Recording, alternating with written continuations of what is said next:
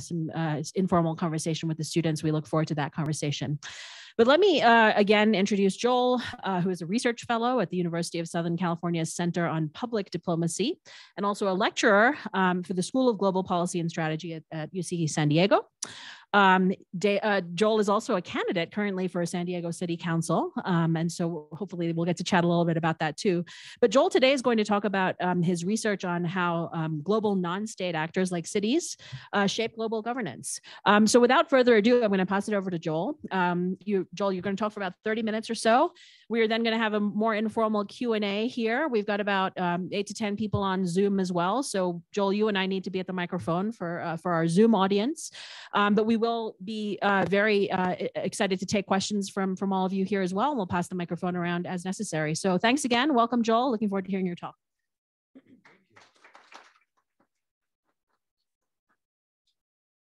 Great. It's such a pleasure to be back home at the University of Denver and the Korbel School. Thanks for the warm welcome. Um, so today, yeah, we're talking about city diplomacy as a concept in a much larger international political economy shift um, in the nature of power being urbanized in the 21st century.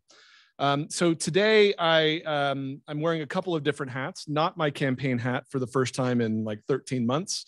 Um, I, I, love teaching because I get to take off that campaign hat at UCSD and just kind of delve into topics like this. Um, and, but I'm always welcome uh, questions about the, uh, the practice of politics at the city level. But today we're going to really uh, delve into uh, both the pitfalls and promises of city diplomacy in the 21st century. Um, this builds on an article uh, that I can send out uh, later uh, that was just published by uh, the USC's Center for Public Diplomacy um, on many of these themes that we're talking about here today. So by way of introduction to the topic, my clicker's not working, Georgiana.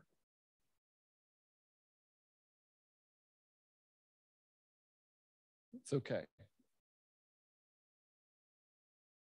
I think nothing is working actually. There we go.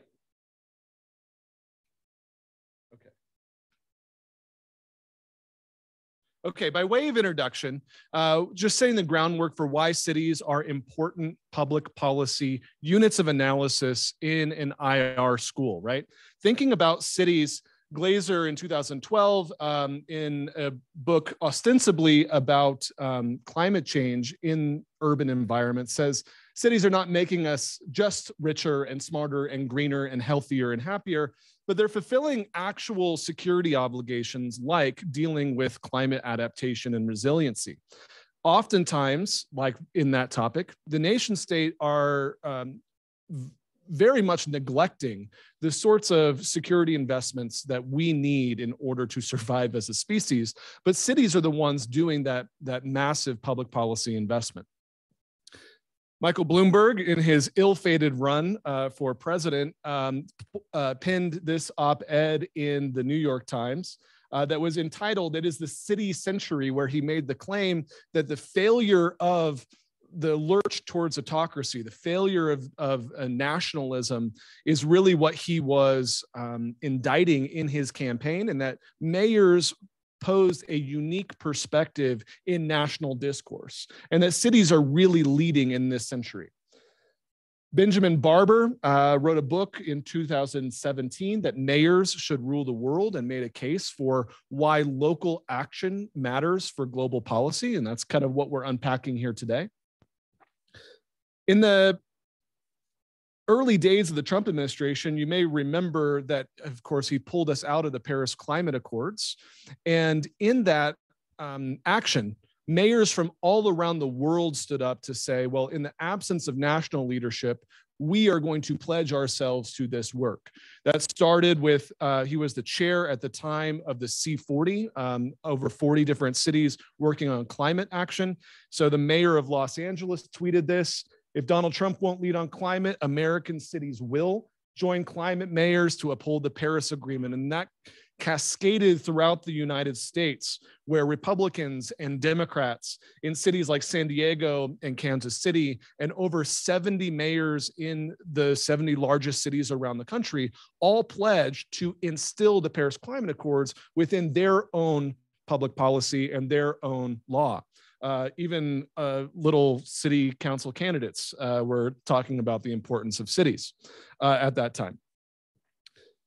But cities are not only working on these big public policy challenges uh, at the global level, but cities are increasingly full of capacity and will be so um, for the foreseeable future. And so, thinking about the evolution of governance, or what were we just talking about? This program on the future of governance, navigating the future of governance, we're going to have to navigate the precipitous increase in global population rooted in cities. By mid century, 60%, 66% of the world is going to be based in a major metropolitan or urban area. Um, and so, with the global population rapidly moving into urban environments, power and our concepts of material, normative, productive power are inexorably tied to the urban environment. And that leads us to a broader urban turn in international relations. An urban turn uh, matters for the study of international politics in a number of ways. Primarily, we could think about cities as being new sorts of agents or units of analysis in the study of international politics. They are neat because they're discrete, easily observable, easily measurable, um, and can be geocoded and all of these other uh, things that allow for both qualitative and quantitative studies of this unit of analysis.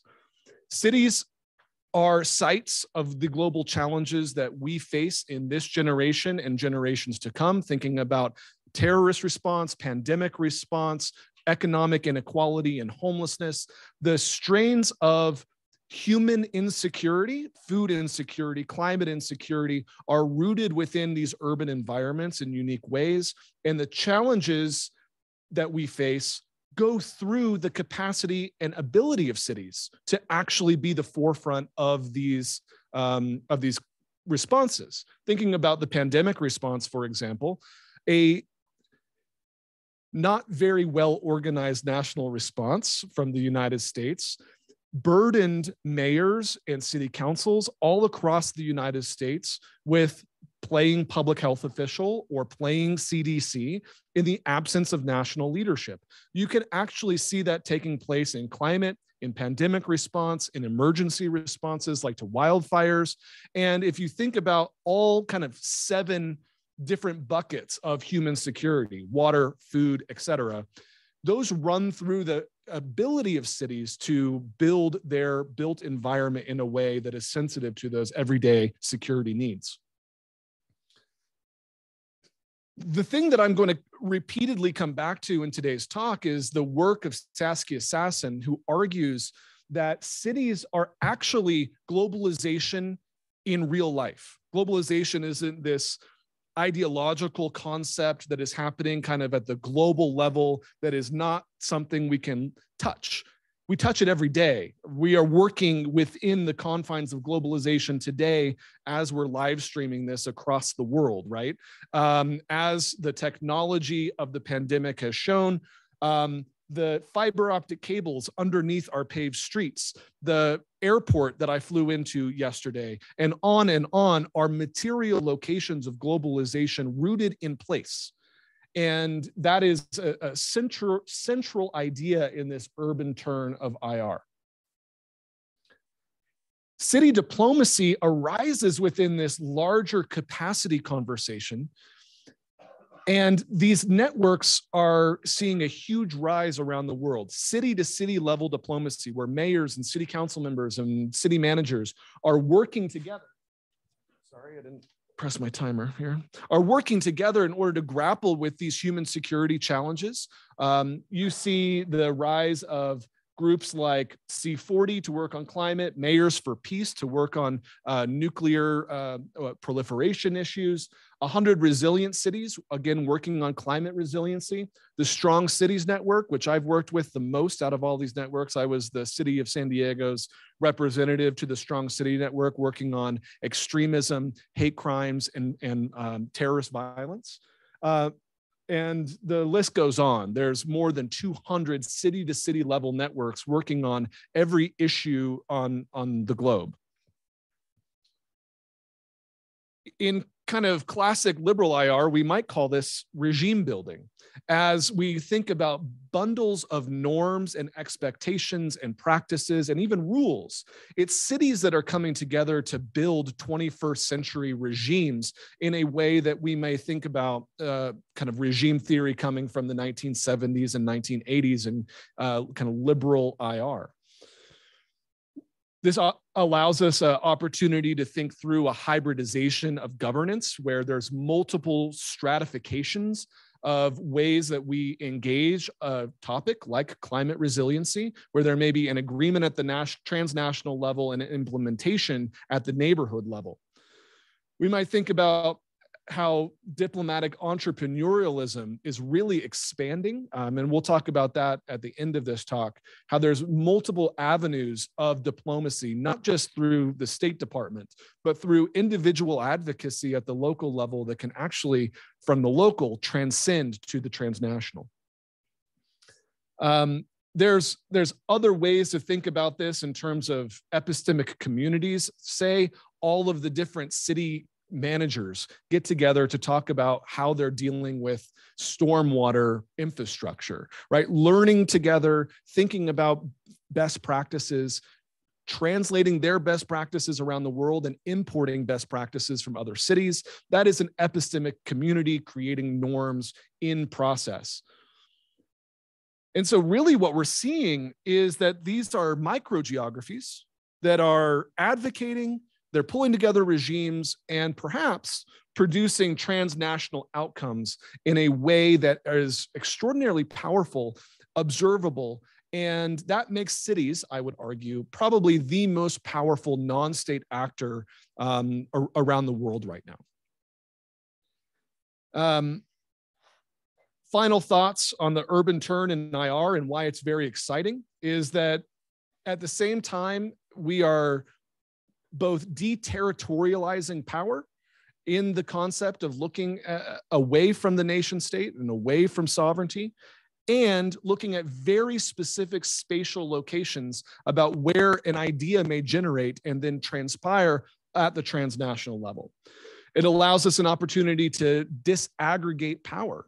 Um, what Jane Jacobs, very famous urbanist in the 1970s, she wrote The Life and Death of the American City. Well, her observation Eh, for urban studies was well things like gdp and productivity are not very helpful ways of thinking about economic growth. You got to disaggregate and see about where that's happening. It's happening at the neighborhood level. It's happening at the city level and that cities are economic drivers. My argument here is that we need to do that in IR. We have the capability of doing that in IR, thinking about power in that same sort of disaggregated way that's very spatialized and local. And so with that all as introduction to this place within the discipline and this place in larger geopolitical foundations, I want to do just three things. Um, I want to talk just briefly about uh, theory building um, because there hasn't been a lot of theory linkages between, say, security studies, international relations, uh, urbanism, and I want to kind of wed international sociology, wed all of those together in um, the context of what cities, how cities are gaining their capacity. Then I'm going to uh, talk about five puzzles on a pragmatic level. What are cities supposed to do, like Denver? based upon the theory that we're talking about, what are cities supposed to do in order to do city diplomacy, to engage around the world? What are best practices for them to think through? And in answering those puzzles, it's very clear that we need a lot more data. And so I'll end the talk today in a scholarly conversation around the data that we need as social scientists to think through this as its own sort of sub-discipline and perhaps um, craft a future of comparative municipalism as a, as a field. Each one of these areas is extraordinarily critical to advancing, I would argue, the welfare of residents um, within each one of these cities, um, to advance their capacity to speak to growing global challenges, but not only about the welfare of residents, but city diplomacy. And this is kind of the, the red flag that I want to throw up. If we do not think through um, why cities are gaining capacity, why they're gaining power, and how they should exercise their power to benefit their residents. If we don't think through that, then right now poses a really critical and perhaps problematic time for those doing city diplomacy. And that if we do it wrong, we will entrench as practitioners. We will entrench the economic polarization that we're finding in our cities. We could entrench the homelessness pandemic um, or epidemic that we're having in our cities. And we can miss the shift and the opportunity that we have in order to really address uh, basic human needs. So, by way of starting and talking about the theory that we need, um, you know, most city diplomacy starts with the concept that we should have these kind of cultural ties between similar cities uh, as ourselves. Um, and I think that that is exactly um, the wrong place to start. And I'll explain why in a moment. The State Department this year um, has started a new program where they are embedding foreign service officers as one of their opportunities to go on tour, a two year tour, to be rooted within a city and to be assigned to a mayor in order to grow a city's global footprint and uh, global impact. It's a great opportunity. My question is what is it that we're asking them to do? There is a, a uh, former ambassador who is the deputy mayor of city diplomacy in the city of Los Angeles. Um, I had a similar role at the city of San Diego and on and on throughout global cities around the world. What is it that we are asking them to do and for whom? That's the baseline that we need to answer here. It's not just clever sister city arrangements anymore. The power that is located in cities means we have a great responsibility, to quote Spider Man, which I watch a lot with my three year old. So here's where we need to start to answer that question What is it that we want our city diplomats to be doing? Well, it starts with this Saskia Sassen concept. Uh, she, she writes in 2005, The Global City, introducing a concept that cities are the physical terrain where seemingly immaterial globalization processes manifest in local concrete forms. That trade is located here, that FDI is deeply located within cities, and that when we talk about uh, the speed of communication or travel or capital servicing, um, that what we're actually talking about is the capacity of a local city. And it looks a couple of different ways, according to Sassen. First of all, you see that there is a massive dispersion in global cities, not just American, but around the world, a dispersion of physical production that like hollows out cities, right? Thinking about Detroit and the how the automobile industry has fled. Um, this is a phenomenon that is occurring and has occurred in our lifetimes in cities the world around. And that dispersion of physical production to the global periphery means that cities have become less about goods that are produced and more about an agglomeration of capital and that cities, especially in the late 1990s and into the early 2000s, become an agglomeration of what we mean when we refer to globalization. There's massive mobile labor capacities. There is massive investments into capital access. There's transaction binding, which means lots of different industries bind around main industries that are located. The Fortune 500 companies that are located in a city all of the managers and lawyers and CPAs and accountants band and bond against uh, uh, with those companies. And so you see the massive investment into capital mobility and that cities, Sassen would argue, become vehicles for global capital rather than for places where people live. And that the agglomeration economy is a new feature of global politics rooted in cities. And that, of course, an agglomeration effect attracts a certain, with magnetism, a certain type of class, a certain type of people. Um, Richard Florida would call it the creative class, where you have an investment into the sorts of things that very educated people like to spend their money on, uh, like recreation and entertainment and responsive government and luxury and boutique culture. Um, the idea that there's a yoga studio and a craft coffee shop that are reproduced in every city and they look all the same around the world, right? That sort of cultural reproduction is happening in cities the world round. And that's really what we're talking about when we refer to the definition of global cities. Dispersion, agglomeration, and attraction effects are the, the nature and sort of the productive power happening within these cities. The problem with this, of course, is that it has resulted in massive economic polarization. As the poor in, and working class have been marginalized and pushed out of the center core of cities and replaced by capital we have wealth polarization that has resulted in slums on the outskirts and the center of cities becoming places of vertical gated communities. The slumification of the world, as noted by Mike Davis, the gentrification of American cities, as noted by P.E. Moskowitz in their recent book. Florida now calls it the middle class donut, uh, where the middle class has become hollowed out of urban environments. And this is not just a US phenomenon, it's happening in places like Berlin um, and, and other global cities. And it leads us to the question of all this growth, all this amazing new capacity coming into our cities. Who is it for? And who is our city fundamentally for? Because out of that grows the question what is our city diplomacy for? Why are we doing global engagement in the first place? Is it to double down on this process? And my, my red flag that I want to throw up for the discipline is if we don't think critically about what is happening in terms of dispersion of people and the polarization of wealth, then the diplomacy of cities simply becomes a tool of competition to bring in more capital and push out more people. And that results in that sort of push of gentrification that as new hipster coffee shops and developments and all of that come into the heart of our cities, pushing people out once they become gentrified.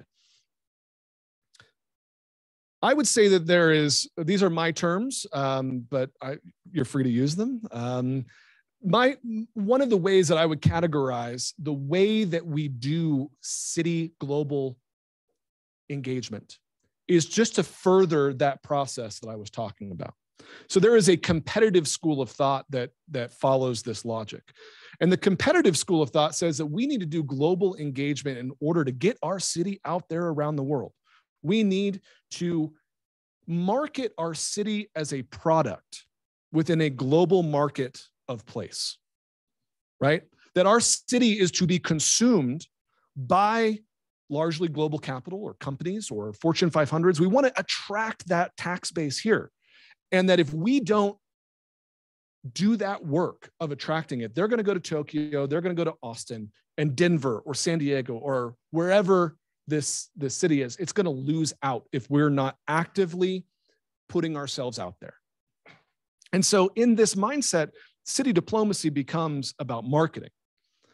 Uh, my favorite of, uh, I, I, show this to my students all the time. Uh, make a note and Google it. Uh, there's a great ad campaign that Sadiq Khan put out after uh, the Brexit vote that said, well, yeah, we Brexited. However, London is open. London is open and affirming. London's a great place for um, all sorts of people from around the world. And it's a great place to invest your money. Your money is safe here.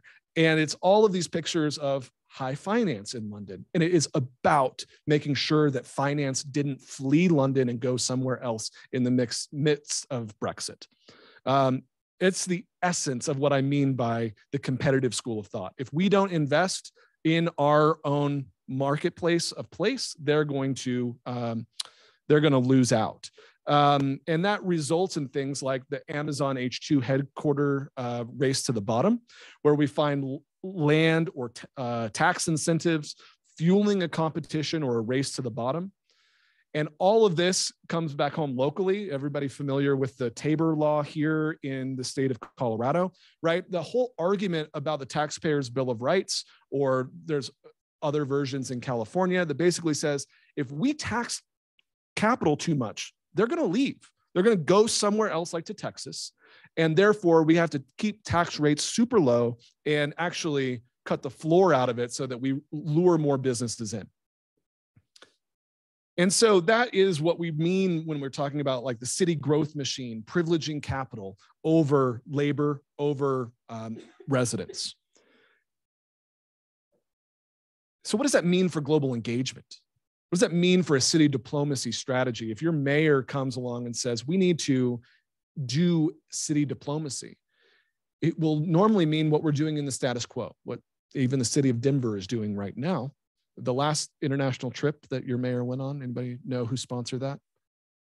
It was sponsored by the chamber of commerce and it was sponsored by the airport and the airport led the international delegation. The airport staff led the delegation right and so it, it means that the goal of city diplomacy is about trade and economic impact and luring in new companies signing memorandums of agreement with companies to relocate here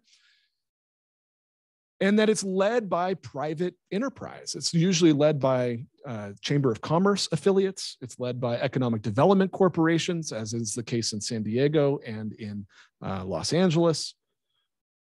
And that our identity as cities becomes the furthering of this service to global capital, real estate investment trusts, in order to relocate here and that sort of thing. If we are not critical about this, this deepens that middle class donut. It deepens economic polarization. And then we are just units in international political economy, deepening uh, crisis, I think, of capital. On the other side, there's a welfare school that I'll go through really quickly. And this is rooted in what we're seeing in places like Barcelona, the rise of the new municipalist movement, um, where they see social redistribution as the key function of city building. And that means that we need to focus on growing from the inside out rather than from the outside in. And there are lots of international networks of cities, like Cities for Adequate Housing, that are talking about how are we serving our people, our residents, and what can we learn from other cities that are serving their residents in a similar way. Which means that the global engagement outcome from a welfare centric perspective is actually about global relationships being an instrument of resident need that we learn from one another to benefit our the welfare of our citizens and that that epistemic community of practice actually can result in mutual aid and cooperation and regimes that translate into better services for our residents rather than just cutting the floor out from the tax base to lure in new companies. And so, if that is what you want to do, one or the other, right? That's basically the choice that we have in front of us as policymakers. If that is what we need to do, then I, I say there's five puzzles that every city needs to think through. These five puzzles are like a why, what, when, where, how. When, what, where, why, what, when, where, how. What am I missing? Why do we need to engage? What? Why do we need to engage? Are our cities these capital engines? And we need to have this serious conversation with elected officials and stakeholders. Are our cities here to compete for capital or to lead on a particular set of policies that serve our residents better? I would say that we need a guiding strategic plan, a raison d'etre for how our city engages around the world so that we're not furthering the deepening of an economic crisis. This is done really well, I would argue, by Barcelona, Spain. Um, in 2015 and 2016, at the height of uh, that first wave of um, Syrian um, Syrian migration, um, Barcelona put together what they called the City of Refuge framework. The City of Refuge framework then worked with Lisbon and a number of other cities of similar mind where in fact they were operating very liberally or uh, as socialist mayors um, with other cities around Europe in the context of national conservative governments. So often transcending their state in order to implement migration sets of best practices and how to aid migrants coming in from Syria. Uh, they built that internal capacity using their relationships with other cities in Europe. And they, in fact, created a pipeline of resettlement that sidestepped their nation state.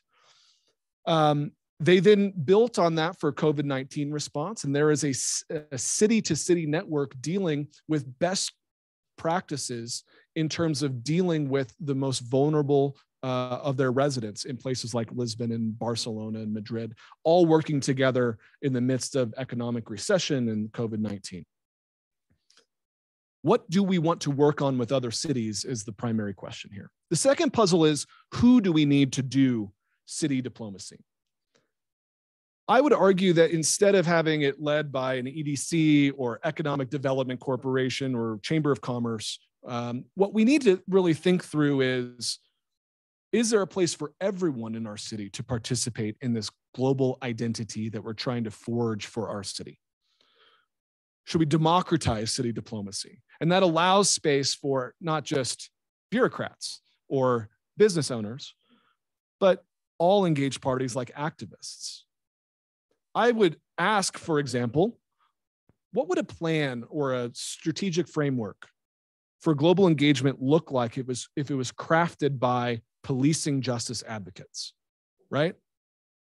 What if a plank of a global engagement plan was led by criminal justice advocates or policing reform advocates? Because then that directs our city to engage Glasgow, for example, that did a complete overhaul. It was the most violent city in Europe. It's now one of the least violent cities in Europe with a public health approach to incarceration and to gang violence.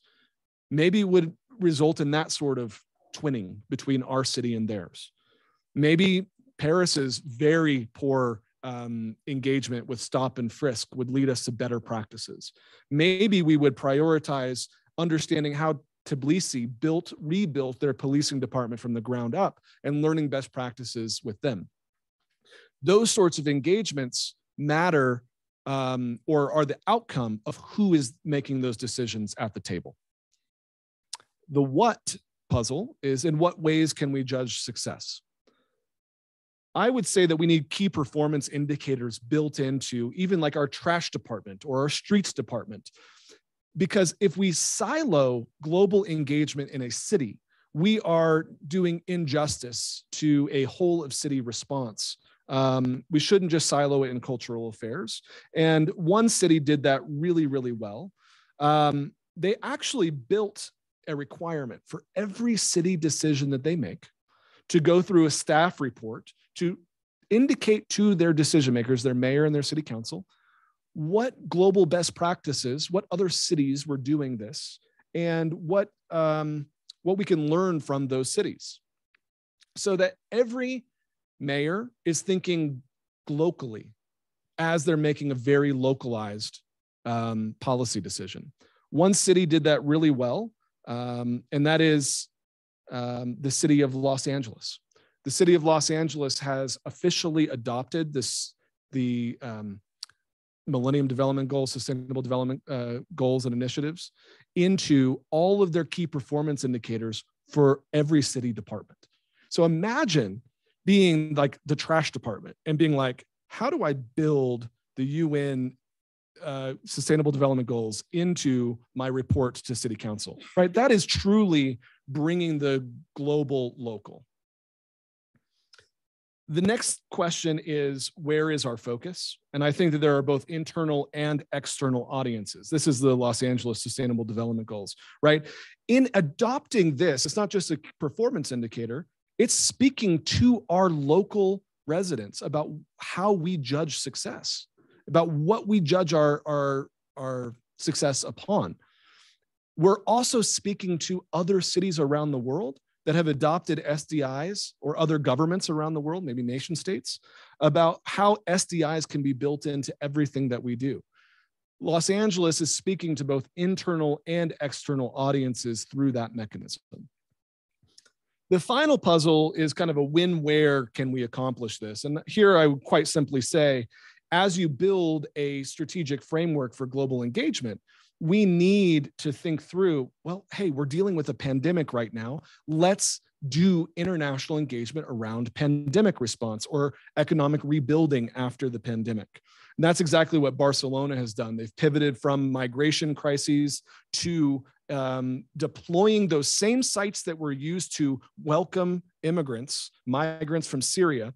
They've now begun using those same sites and that same logic to create community health clinics uh, responding to the COVID um, COVID response.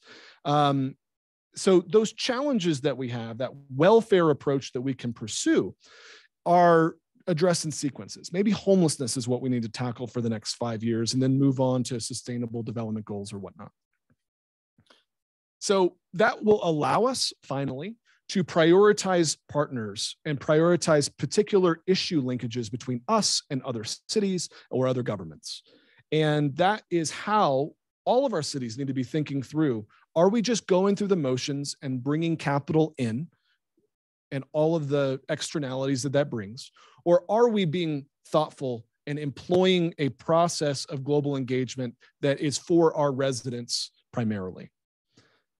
But then finally, in the last couple minutes here, that brings us to a new research agenda. Unfortunately, because this is so this has not been studied in a systematic way. We actually don't have data to answer questions like why are cities going abroad?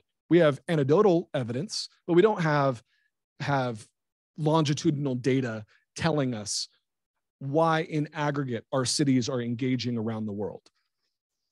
How are cities engaging in diplomacy? Who are they bringing with them on international trips? Um, are they are they just going with their economic development team, are they bringing in other elements as well? Are cities actually achieving what they set out to achieve? There's no longitudinal data that even models dichotomous variables like success or failure. Those sorts of data sets, of course, exist for um, Bueno de, uh, de, Mesquita has a data set on international diplomacy um, and its success rates. We have nothing analogous to that for cities. And so, what I would say, if there's an entrepreneurial set of uh, scholars in here, unfortunately, COVID and my campaign has interrupted my own data collection. Uh, but there is a field out here that is rich in possibility. We can create longitudinal data that looks at when cities go abroad. We can look at, say, the last 20 years and the last the 20 big cities around the world, and we can actually look at how often they are doing international uh, diplomatic engagements in that longitudinal data set, we can look at actors like mayors, or maybe it's a business owner or advocates that are going and who they are talking to. We need to look at their actions. Are they signing an agreement? Are they selling a particular product? Are they touring an education facility? What are they trying to learn and why are they engaged there? we need a longitudinal data set that talks about locations of visits, like going to an educational, uh, hi- higher education uh, university, going to a business, going to a park, right?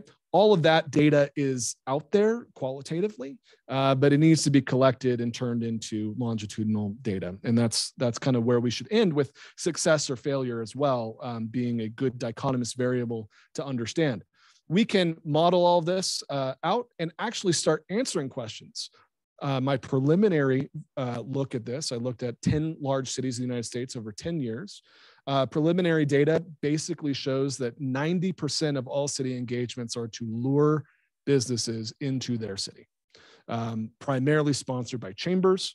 And I would say that if we don't stop right now and rethink the ways that we are engaging in diplomacy, we are just reifying global capital um, and all those negative externalities that we are seeing that Saskia Sassen has predicted.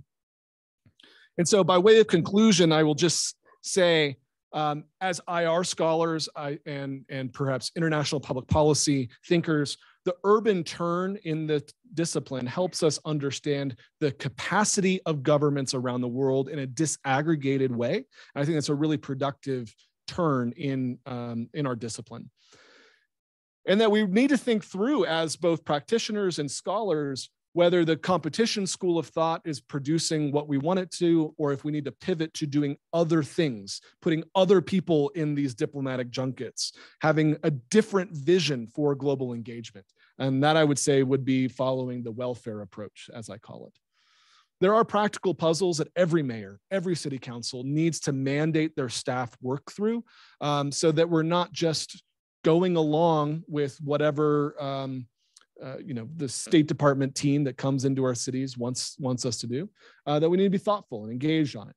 Um, and those practical puzzles uh, should be um, should be directed by residents. I, I think is the ultimate conclusion here and that the future of the discipline really requires a new step of rigor, a new step of data collection. Um, and I hope that all of you um, might be a part of that with me. I'll end by, by going back to Jane Jacobs and just saying uh, her basic takeaway and conclusion of her work is that cities have the capability of providing something for everybody only because and only when they are created by everybody and that cities are the engines of economic power and that when we disaggregate power it's cities and neighborhoods that give it that power but then disaggregate further who is participating in that economic power who is the one the shopkeepers who are keeping a particular neighborhood alive this is an exciting place for international politics too because then we can start saying international power international authority international norm making and regimes has the same trajectory. Like we can actually trace from the local shopkeepers and actions at the city council level on things like climate change or economic development or whatever the topic may be, homelessness, and trace that to a more democratic, engaged international politics, engaged international governance that has room for everybody to participate. And the city is the vehicle by which we can democratize global governance. Thank you.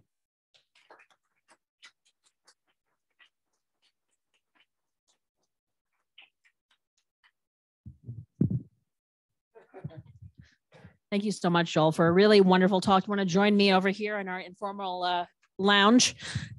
Um, it was remiss of me not to uh, announce at the at the at the very beginning that um, the way that the Scrivner Institute of Public Policy and the Sié Center for International Security and Diplomacy are co-sponsoring this talk uh, is through our uh, collaboration on the Navigating the Future of Governance uh, project, uh, which is not just a Korbel School initiative; it's also a DU-wide initiative being led out of and housed at the at the Sié Center. And I think what what Joel has given us today is really a fantastic uh, you know set of things to think about with regard to indeed the future of global governance through through the lens uh, of, of the city. Joel, I found the talk really uh, inspiring, uh, both intellectually and pragmatically. So thank you so much um, for, for kind of setting us up for a wonderful conversation. I want to remind folks on Zoom uh, that we are uh, open for questions. Uh, we're collecting your questions and they will be fed to me up here at the front of the room. So please do ask questions if you if you have some. I'll invite everybody in the room to also please chime in and raise your hands. I'll keep a queue so that we can um, pepper Joel with all the questions I'm sure we have in the room. I'm going to take the prerogative of the chair and ask the first question, Joel. Um, I especially liked and found really uh, interesting your uh, your kind of dichotomy, as you put it, between the competitive school uh, and the welfare school in terms of this sort of global uh, municipalism. I guess I would sort of posit that the reality is that cities do both, right? All cities do both. Um, and the question of the balance between uh, the competitive aspect and the welfare aspect is, is a really interesting one. It reminds me of the now fairly old scholarship on the varieties of capitalism in comparative political economy. So I wonder, you kind of used the phrase at the beginning, comparative municipalism. Um, what are what are the politics of this right? So who are the actors that drive one or the other approach? And over time what have we seen in terms of trends across major cities? Um, i would my again my hypothesis would be that it kind of rises and falls with kind of global capitalism and you know cycles of financial crisis and so on. So i'm just curious to a little bit of historical perspective on who are the actors that are really kind of shaping where cities come down on this balance between competitivism and welfareism it's a great question, and it is political um, in nature. Thank you for pointing that out. Um, I would start, you know, Sassen and talking about the roots of how cities have gained their capacity and gained their their economic power has been around this sort of agglomeration effect. And so I would say that the in global engagement of cities is is tied deeply to that agglomeration effect and the search for capital. Um, and that there is a reaction that has happened after that. Um, and so historically, I would say places like New York and Tokyo and Berlin, uh, Johannesburg have heavily invested into city staff who are working for their economic development department. Um, and though cities do both, I would say that the, the bureaucrats doing that work have historically been located within economic development and that that economic development strategy of luring uh, competing businesses into your city um, has been the job of a very particular group of bureaucrats for economic development purposes now then that swings when there's more uh, socialist or um, very liberal uh, folks that come into office. Um, I think that Barcelona, I gave an example of that when um, the mayor, the governing coalition in Barcelona came um, on board. They're democratic socialists. Um, they they downsized their economic development department, and their economic development department um, no longer went in search of tourism as their primary economic driver. And there was an anti tourism sort of backlash. And it was about investing into public health campaigns, investing into housing and adequate housing. Um, public housing uh, went up. And I think that Berlin is experiencing a very similar sort of retrenchment back to serving its its residents rather than uh, global capital. So I would say, um, on balance, that we have primarily invested into um, in, in US cities, especially that I'm familiar with, most diplomats in US cities that are charged with any global mandate are within their economic development department, and that it is up to politicians, usually elected individuals, like a mayor of Barcelona or uh, mayor of Paris is a very good example of uh, exporting good urbanism and, infill density and that sort of thing. Um, it, it's usually more liberal politicians that engage globally on more welfare centric conversations where there's sort of um, a bureaucratic push towards um, luring in capital. Thank you. Let me just also, folks who came in late, please don't uh, hesitate to, to, pop on up and, and, grab some food here and join in the conversation. So I'm going to, uh, I have Debbie, Cullen, and Frank. If anybody else has a question, I'll put you on the queue. Maybe um, you could each introduce yourselves as you ask your question. Hi, thanks. I'm Debbie Avant, and I direct the Sié Center here. Um, and this is great. I mean, it, it's interesting because um, when we were searching for a title of our 2010 book, um, we called it Who Governs the Globe as a nod to Robert Dahl, which is really talking about politics at a very local level in order to talk about democracy. And so I think that you've you've hit on something really important. What I'm interested in though is um, you know, I'm wondering if the data we really need is um, you know, longitudinal data on what cities have been doing, or perhaps data on like the impact of indicators on how we think about success. Because you know if you sort of think about the sort of growth of economic development as really the motor for connection that that could be tied to how we think about success which is often in growth rates in amount of money coming in and all of those kinds of things. And you know it's been really interesting um, it's been actually through teaching a course on global business and corporate social responsibility that I've looked more deeply at sort of how we think about economic models and that impact on the role that we think businesses play, because businesses don't just bring in money; they things to their um, you know their constituents in a sense you know they they pro- and so different kinds of models in a sense might give you a better sense of you know the capacity for really thinking about success in different ways because of course you know the welfare model is not going to work if it's just about city bureaucrats producing affordable housing. There also has to be other kinds of things. So anyway i just wondered about um, this whole issue of the economic model and whether we need um, some uh, way of thinking about economics differently and measures of success differently to sort of get to your success rate. Okay, I'm going to be very nerdy here and talk about my my backup slide. I've got a backup slide, of course, um, if that's okay. um, on this very question because it is central to the future of the of the conversation. Um, so the real question is, does economic development actually help people? So there's a great book uh, that came out in 2017, um, and a, a, new volume came out recently. It's by Richard Schragger. Uh, he's a uh, lawyer at, um, and an economist out of the University of Virginia, and it's called um,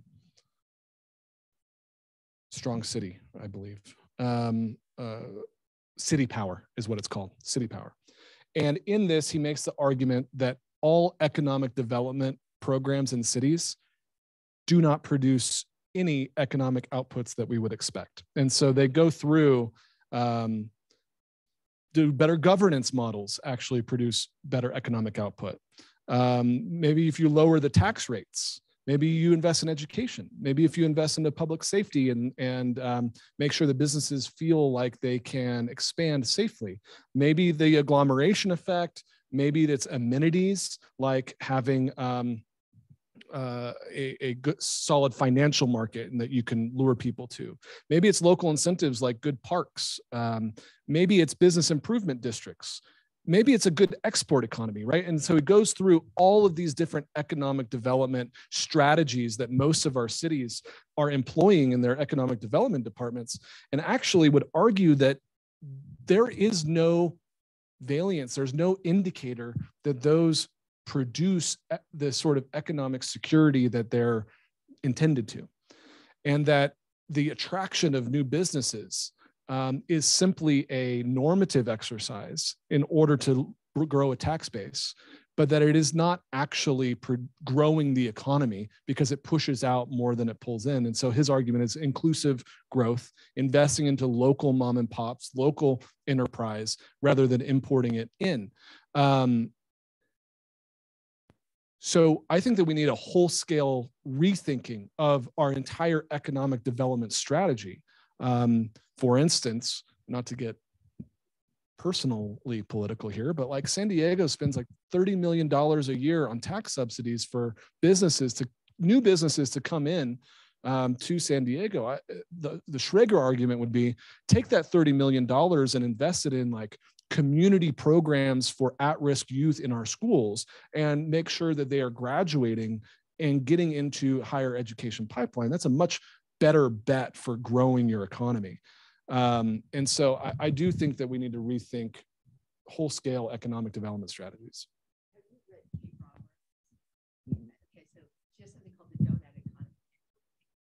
Yes. Okay. Yeah. And it, it, what is interesting about it, of course, sorry, is that it's it's not just about rethinking economic growth it's like rethinking growth and and and you know sort of but I, I do think that to some degree that requires us to have some sense of what that other thing is you know and what what does it really mean to have a sort of secure um, uh, situation in a city um, if it's not tied essentially to growth but anyway super interesting we, will talk more Thank you, Debbie. I'm Cullen Hendrix. I'm a faculty member. Um, thanks for coming back, Joel. Excellent talk, by the way. Um, just wonderful presentation.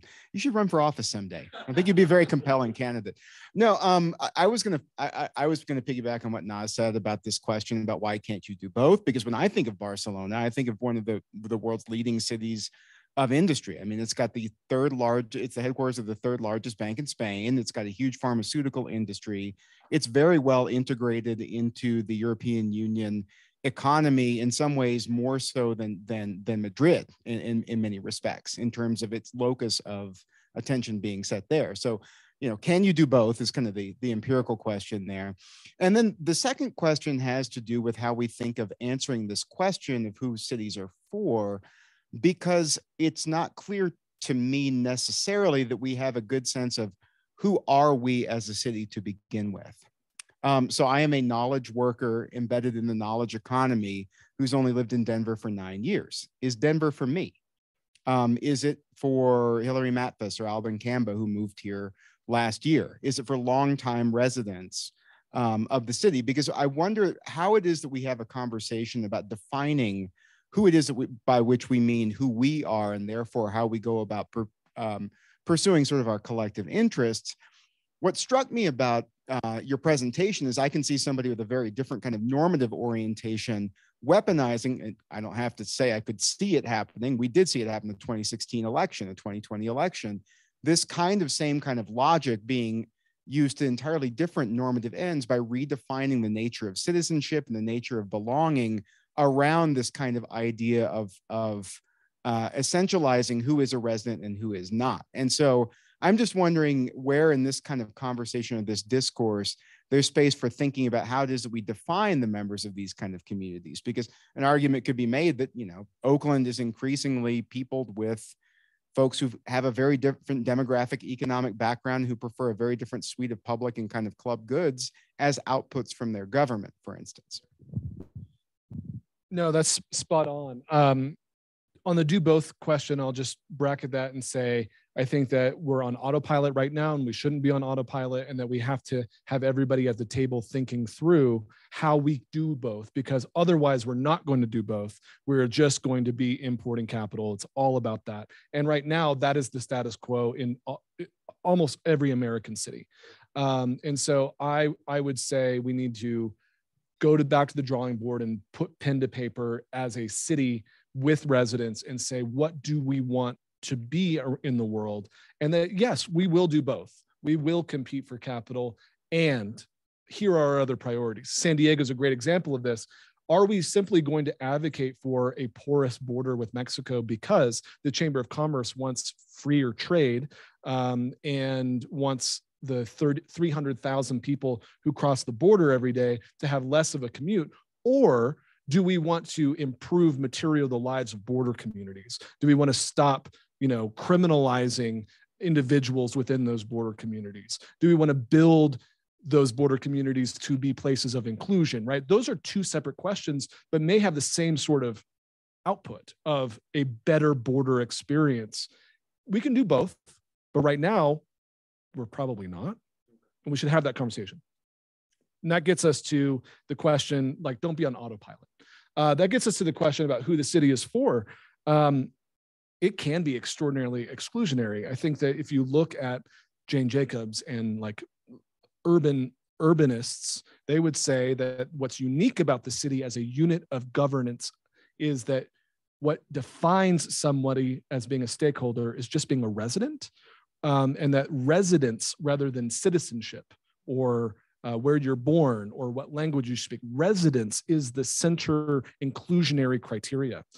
Um, and that allows us room to um, say, uh, allows us room for fairly populist, I would say, um, demarcators that I think are important right now in our in our global economy. For instance, um, Canada has passed a uh, new ordinance in most of its cities that bans foreign investment for the next five years, foreign investment into real estate property. I would argue that places like LA and San Diego uh, could use a dose of that too, because our housing should be for residents and not to house capital from around the world. And so I, I think it's very helpful to have residents as the centerpiece of who belongs, full stop and that at the point where you are excluding any residents from the conversation um, that's a that's a normative bad and that if we are on autopilot in our global diplomacy, we will exclude residents and privilege perhaps other interests. Thanks, Cullen. Uh, just a quick reminder to those of you on Zoom to please use the Q&A function on Zoom if you'd like to ask us a question. We would be happy to receive them. Frank, you are up next. I'm gonna have to go behind you, Joel. Sorry. It's a little awkward. Thank you. Uh, thank you. Hi, Joel. Good to see you. Uh, it's Frank Laird. I'm in the faculty at Korbel and for uh, the moment, the interim senior associate dean. Um, I wanted to ask about um, really sort of your core variable, the notion of the city, and if perhaps it should be a little disaggregated. Um, and particularly uh, talking about the city as the locus of, of the, the material locus of uh, globalization. Because it strikes me that um, it's it's too aggregate a notion. um, the effects of globalization, the way it's played out materially, varies so enormously. I mean, between I mean, it's one thing to look at San Diego, Los Angeles, Denver, a different thing to look at Buffalo, Cleveland, Detroit, uh, Milwaukee, where you see just sort of a complete hollowing out of, and especially if you get into cities that are less than a million people, um, you, you rapidly get to these places that have been decimated by um, globalization, in effect, or at least the perception they've been decimated, and, and by what is actually a fairly complicated question, but but where I can tell you globalization isn't very popular. So I wonder if it's useful to think about cities partly on an economic spectrum. A lot of them are just in really bad shape. Um, and maybe to some extent on an ideological spectrum, because yeah, Barcelona and Glasgow, long traditions of democratic socialism, uh, Omaha, much less so.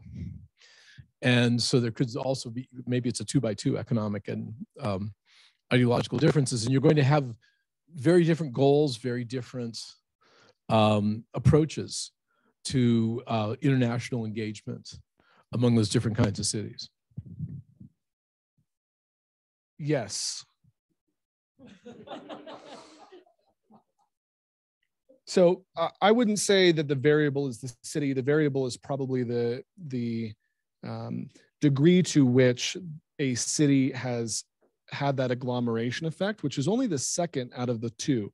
There are cities that have been hollowed out, right? My my family is from a little small town in Missouri called Sikeston, Missouri. Uh, like some of those that you mentioned, hollowed out. The dispersion of physical production of goods to the global periphery has hollowed out those cities and that globalization is incredibly unpopular there because they haven't had the follow-on effect right? They've had the first part of globalization, but not the second part. They have not had the agglomeration economies and the resentment that grows from not having the newest yoga studio and the hoity-toity latte place and a knowledge economy and the sort of, of cultural rivalries or animosities that have grown in cities and towns and rural areas around the world right mirrors this larger trend towards national authoritarianism and urban social democracy. And I think you can trace those, those two phenomenon, dispersion effects and national conservatism and the amenities that that brings with more liberal voting uh, populations. And you can just trace that with the 2016 population. Um, you look at the density by which cities voted for Clinton or in 2020 voted for Biden, very dense, and that everywhere else, very thin levels of, uh, you know, Trump Trump voters, because um, not a lot of people live there, et cetera. All that to say, that dispersion creates animosity and it creates a anger about globalization, those globalists that we talk about in the last couple of years from the far right. That's not a US phenomenon, that's a global um, far right phenomenon that is um, seeping, I think, from the political economy into politics and not the other way around. So I would say, um, yes, we should disaggregate a little bit more, but it's the same phenomenon. And all that, uh, I'll just conclude by saying San Diego or Denver has far more in common because of the global political economy with a Johannesburg or a Rio or a uh, Tokyo than it does Sikeston, Missouri, where my family's from, right? And it is that sort of comparative international political economy that cities allow us to to have um, these common discussions and see these trends around political engagement, around exclusion, around who is um, participating in our, our politics uh, in different geographic areas. So thank you for bringing that up. I, I think I agree. Great. Those are up next. Thanks. Hi, I think you graduated like two years before I came in or something. We, yeah, we didn't overlap, but a couple years or something. Anyway, Dosh, PhD candidate here. I have a question that follows from everyone's questions because I think like everyone's interested in this, like the broader politics of it, because your talk reminds me a lot of the global governance talk on corporate governance. All national governments are failing, but look at these new, you know, super powerful engaged, you know, business actors that are gonna fill the governance gap, and we don't need national governments anymore. Look at these new guys who are, you know, powerful and rich, and they are engaging, and it's gonna be great, guys. You know, those global governance gaps are gonna be filled, and a brighter future waits us, right? There was a lot of optimism about stakeholder capitalism, and there still is, which frankly didn't produce any benefits so far, but you know, we are waiting. So like our cities, especially like the way you pronounce, like cities are new, the new global actors. And it seems like we have lost the battle for national politics or politics at a national level. And we are fighting this, you know, the second stage where, oh, look, we gave up on global governance at the, you know, national level, but maybe cities can, you know, pick up the slack where governments fail, central governments fail, right? We gave up on our national governments to do like climate change actions. Not our government, I'm not from here, but you know, same same story all around the world. But you know, maybe the guy who is closer to me is gonna do something for me. Like, is this actually the case? Did we actually lose? Or like, and you know, the follow-up question is like, how are these struggles interrelated? Are the you know mayors who do good things on in their cities become more political, powerful actors who run for presidents, etc. Like, what is the trajectory of successful governors or like mayors look like, and what are the politics of it? Because especially here in the United States, when I think about city politics or you know politics of the cities, I'm guessing very little of their actual activity is around city to city global, you know, diplomacy. It's domestic national concerns, which are generally very, you know, for most of us aren't cool, like, you know, banning trans kids from school or something, right? Like, to what extent should we be optimistic about like this national and, you know, international interactions of cities? And to what extent should we be optimistic about cities having this prominent goal? Yeah, thank you. Thank you. Very good question. And yes, I think it does track with this corporate governance uh, theme, I too have read my Avant. Um, and yes, I I do think that this borrows a lot from the logic of um, who governs the globe. Um, I also started the talk with a little bit of like a red flag. If we don't put pause on this and think through some of these things, we're going to continue on an autopilot um, that is triumphalist at the moment. It is it is saying that cities are are doing these great things and that we are going to govern the globe and and that may be but that it is there are so many practitioners and scholars right now who are not thinking through um, this sort of different schools of thought. They're not thinking through how we measure success. They're just saying cities have arrived. We are going to go do city diplomacy, and the city diplomacies emerge, but we're not thinking through sort of um, the the negatives of this and that's why i wanted to do this talk because um, if we aren't careful it becomes a reification of some of the very core problems that cities have. I would say that the biggest problem that cities around the world have is this hollowing out of the middle class and the importing in of capital so that there are literal towers empty that are invested with real estate investment trusts that are held empty for speculation while homeless people live on the ground below them, right?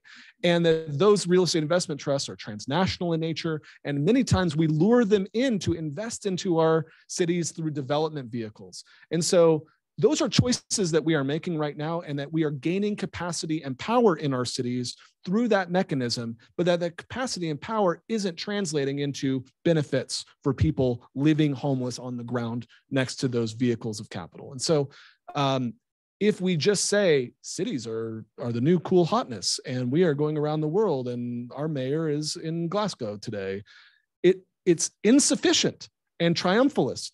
And and um, deeply anti-democratic which is why we need more activists at the table. We need to think through through a city development or engagement strategy. Who is the one representing our city and for whom do we do city diplomacy?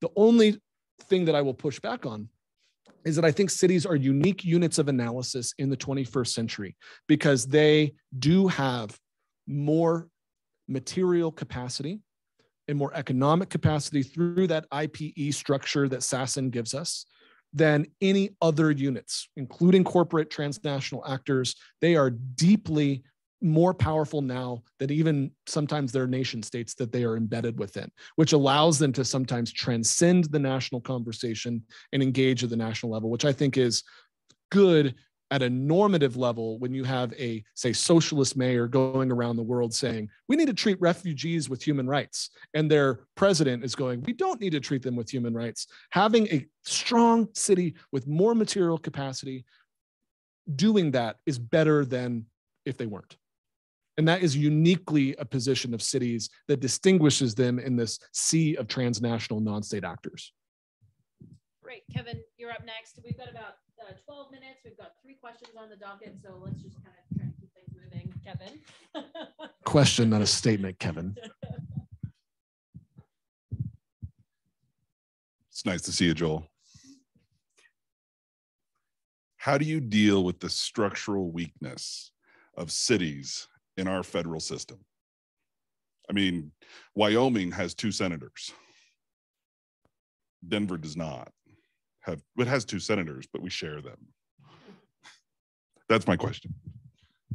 Yeah, and we're not alone. I mean, Germany deals with this. All federal uh, structures really um, are handicapped in this, whereas Singapore is a little bit of a different different situation. Um, the core argument by Richard Schragger in the City Power book that I mentioned is that cities are disciplined by their states and by their um, federal governments, disciplined to not serve their residents by redistributing wealth. That is the dis like that's TABOR, that is Prop 13 and 16 in, in California, um, and that we bind the hands of mayors and city councils through a uh, federal system that creates laws that prohibit them from doing certain things. Um, you know, mask mandates, great example of that. Uh, governor comes along and says, you cannot have a mask mandate. And a mayor is like, what? I'm, I can't do anything now because I, I, I have to sue my way out of this, right? And so our, our um, hierarchical structure is a real problem, and that is stipulated. However, there are ways that we can skip levels, I believe, because we have more capacity at the city level than we did in the 1980s or 1880s.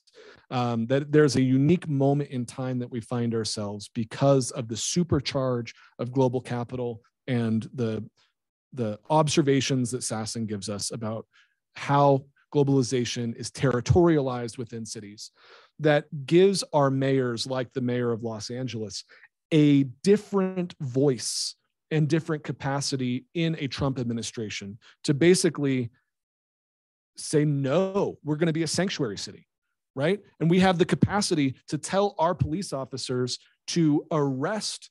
Uh, so we, we did this in, in San Diego. I helped write a policy. This is the capacity of cities. So um, the Trump administration during the Black Lives Matter movement starts telling DHS officers to go walk into the streets and essentially declares martial law in places like Portland, right? Remember this? They're walking around these goon squads of DHS officers are going around and arresting people without their jurisdiction. They're, they have no jurisdiction in these city streets.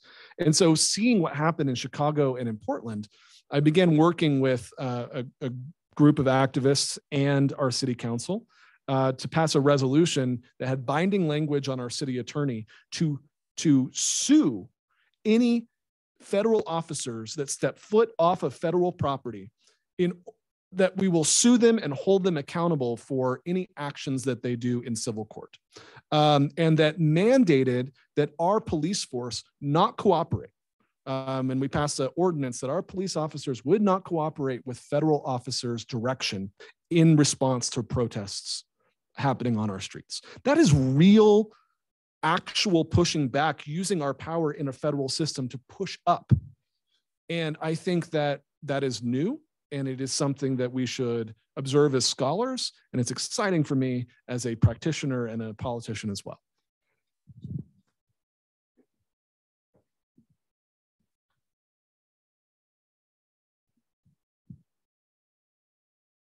Thank you for the great presentation. Um, my name is Sheila Atieno Vandegraaff. I'm a first year uh, MA International Development. I come from Kenya. And my question is, um, as your presentation presents, uh, as from the presentation, great argument.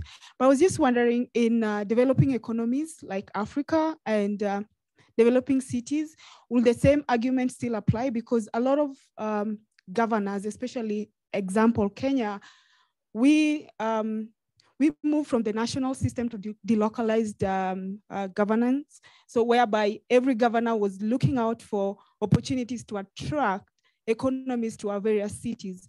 Will the same argument still hold for develop, developing economies? That's one. And the second, will policy, uh, having policy in place transition the leadership of your argument? Thank you. Policies in place. Should we have policies to govern your argument um, of glo globally? How did you? yes. Um, thank you for the question, Sheila. Um, I think a very good example of this is the Mombasa County governor um, in in national politics uh, became very well known in um, anti-extremism work and that began working as a essentially a mayor uh, began working with the strong cities network one of these international city to city networks uh, to learn about what was going on in Belgium. I was at a conference with the with the um, Kenyan delegation in Antwerp in 2017, and it was really interesting to see um, how Mombasa was really well regarded by northern cities, um, global north cities, uh, for the work that they were doing. And so what that allowed for was that transnational linkage, mayor to mayor network allowed for um, i think best practices to go the other way from from the global south to the global north in that particular conference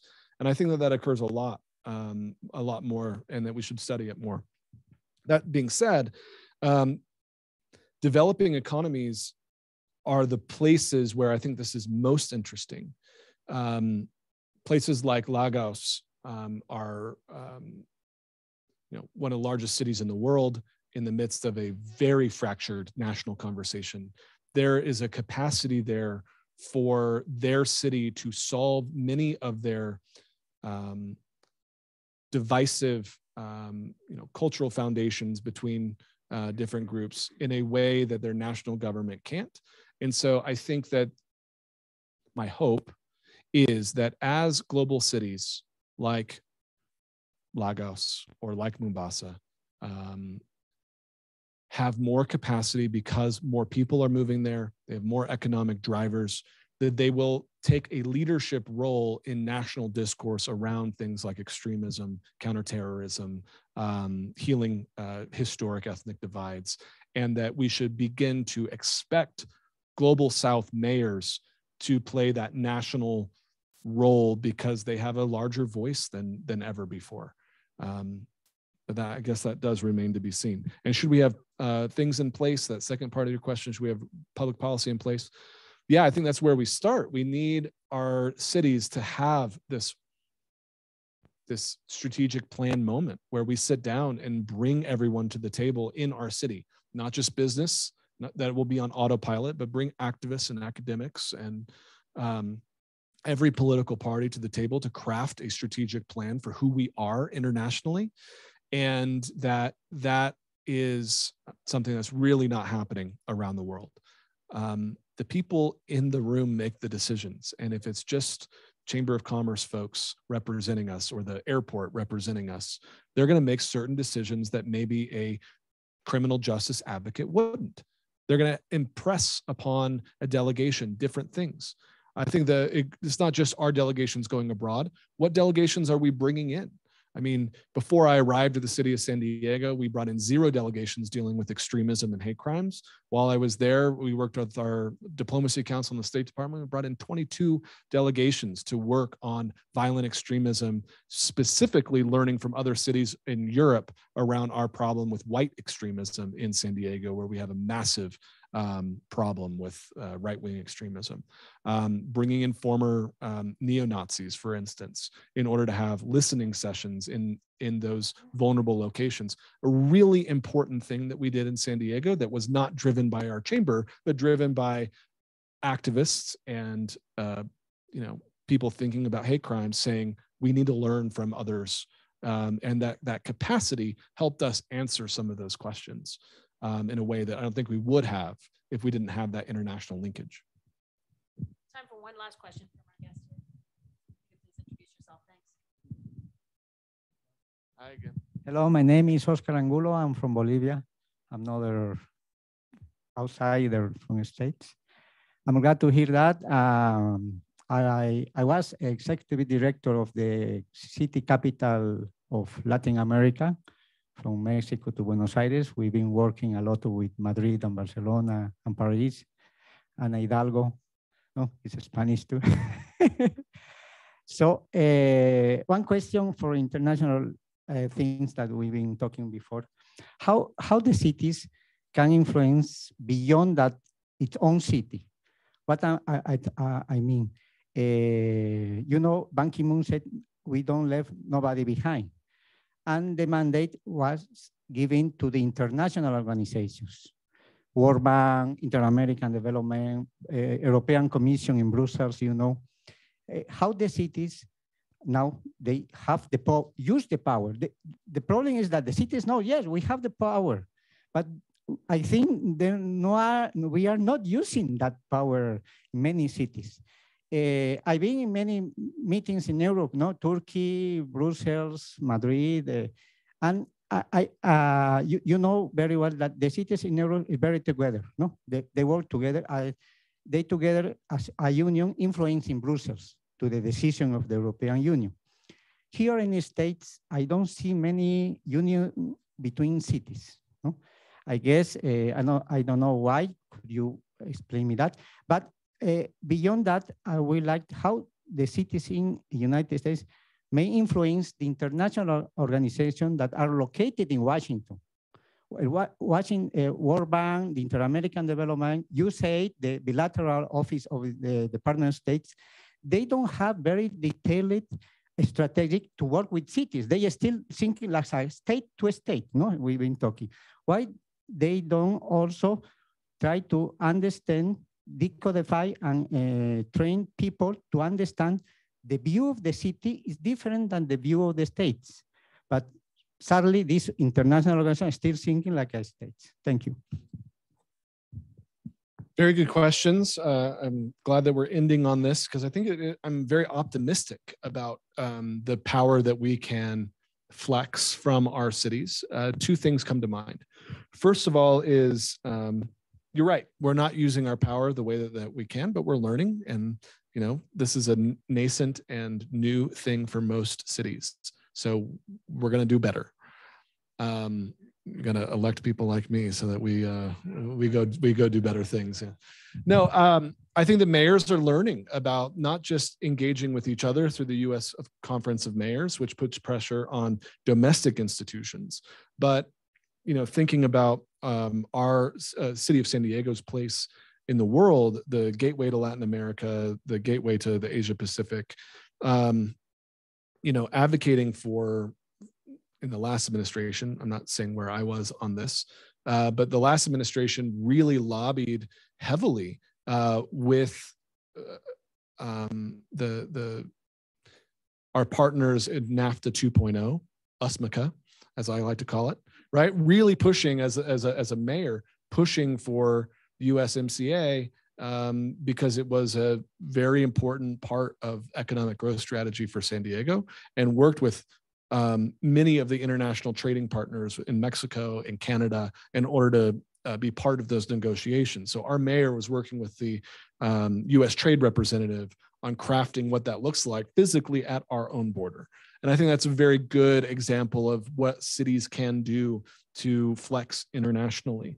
Um, there are networks that cities need to participate in more, and mayors need to show up. Uh, I mentioned a few of those networks. Um, those networks um, have issue areas that can then pivot as a regime or as a institution can pivot to lobby particular governing authorities um, on a particular issue. Uh, in San Diego, for example, there is a binational uh, co- uh, commission that deals with wastewater runoff in the Tijuana River Valley. It is an international institution, it's a binational institution. And we have mayors from all of our regions on both sides of the border advocating through institutions, through mayor to mayor partnerships to that international institution. We need more of that. Um, and it, it needs to happen on every issue area. And finally, mayors are used to going to Washington, D.C. and lobbying a, you know, uh, Pete Buttigieg and saying, we need a new bridge. Um, we need to get used to flexing our power and going to the Organization of American States or going to an embassy and saying, hey, your, you know, your folks are important in your policy area uh, here's what we add to your policy area. Um, we need to go on an international diplomatic tour using our, our mayors the way that they do all the time in Washington, D.Sié. with domestic institutions. Okay, just to wrap up, to remind students uh, who'd like to stick around and talk with Joel about his really, really interesting career trajectory and sort of advice on folks who are interested in working in uh, municipal urban uh, politics or policy. Uh, thank you so much to the C and Scrivner teams, especially Katie, uh, Gergana, and Shannon. Um, and uh, thank you all for being here, including those of you on Zoom. This was really, Joel, a fantastic, terrifically interesting. And I think I'm just looking, Debbie and I were both furiously taking notes, really, I think, very generative for the work that we're going to be doing uh, on navigating the future of governance. So thank you so much for coming to share your thoughts with us, with us and for helping us think through these important questions. Thanks, Joel.